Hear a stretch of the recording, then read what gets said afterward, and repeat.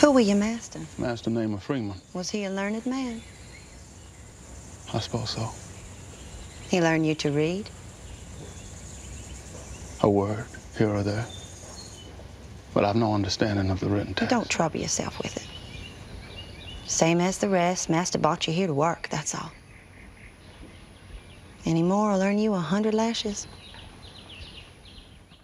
Welcome back. You just saw a scene from the critically acclaimed film 12 Years a Slave. It has been nominated for nine Academy Awards, and now the National School Boards Association just announced that powerful film, based on the memoir by the very same name, will be distributed to public high schools across the country. TV personality Montel Williams played a key role in coordinating the distribution of the film to schools. And guess what? He is here with me right now. It is always a delight. You gave Thank a little you. fist pump. I this did. means a lot to you.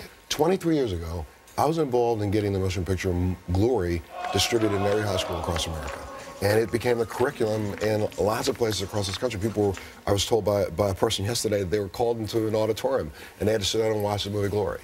Well, I was at a special screening of the movie. I sat beside Steve McQueen and uh, Chiwetel, and we were talking. And Steve McQueen said his dream was to always have this movie in schools. And I said, Really?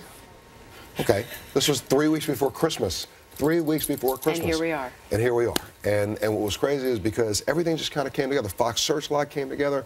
You know, the National School Board came together. And I went down and spoke before them. And I said, look, this is an opportunity for us to have something that tells the truth and can emotionally involve children in a way that they'll understand what the pain of this era caused. And it could cause again. It was one of my questions for Mm-hmm. you. How how do we do that? Because teaching history to kids, especially kids today, Mm-hmm. when they've got all of the newfangled devices and technology, and we have this sort of um, I don't know, a lack of patience for stories, it would seem. Mm-hmm. How do we make it relevant to today's kids? How do we make them feel? I think it's a testament to Steve McQueen and all the actors in this movie.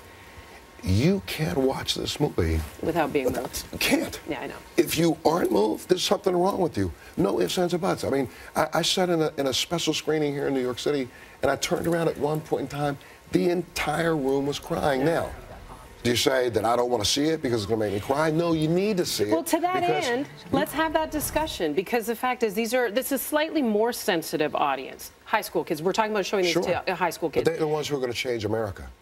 How do we couch though? Because I don't believe that we should shy away.